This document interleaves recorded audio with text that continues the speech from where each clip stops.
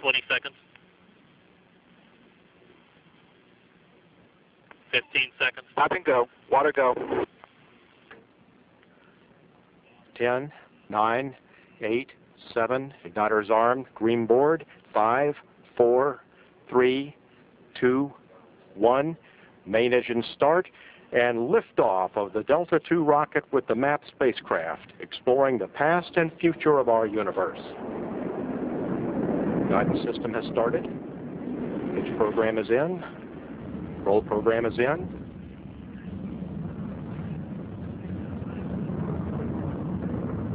Initially, smooth flight being reported. Solid motors are now at maximum thrust. T plus 30 seconds. Flight looking good. We've just gone through the sound barrier. Normal, normal vibrations. First stage control looks good. Vehicle on course.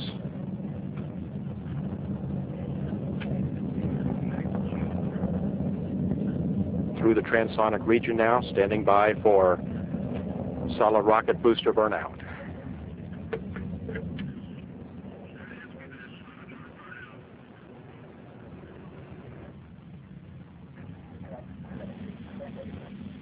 And solid motor jettison. We have all four solid motors have jettisoned. Two disturbances look good at jettison. All the disturbances have been damped out. PFL 82 copy. Pad pressures are within personnel safe limits. Release the fire Passing T plus 85 seconds. The vehicle has an out. We have an altitude of 15 nautical miles, downrange distance 31 nautical miles, and a velocity of 2,500 miles an hour. Base systems continue to look good.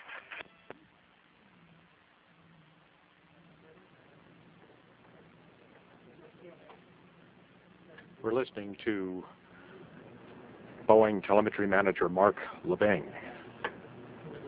Not too much to report at this time. The controls have smoothened out very nicely.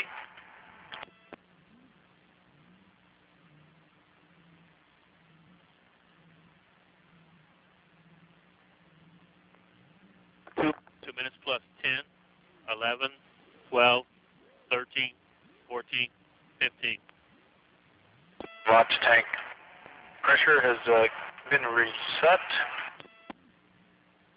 Sequence launch out one. Came in on time. We see the normal increase in LOX tank pressure.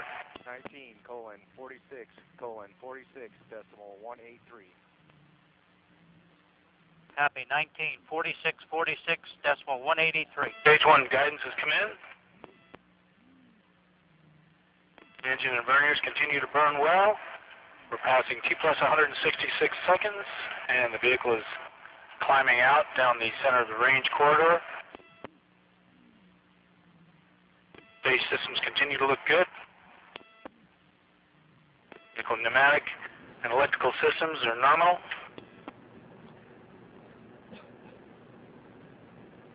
Three minutes, 10 seconds into the flight.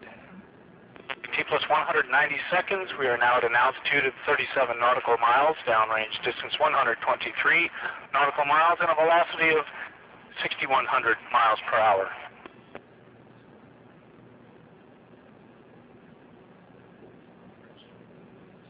The controls are still looking very smooth as we fly into the thin ionosphere.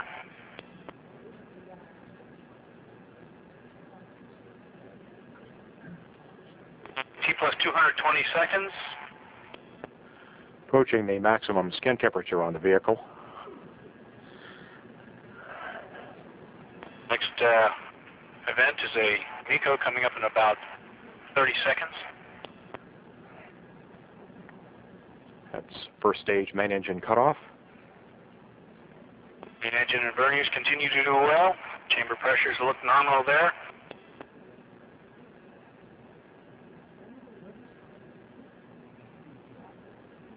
Passing 255 seconds. We have our fuel float switch, LOX float switch, and we have enabled. Plus And we have MECO. The main engine has cut off, both verniers looking good.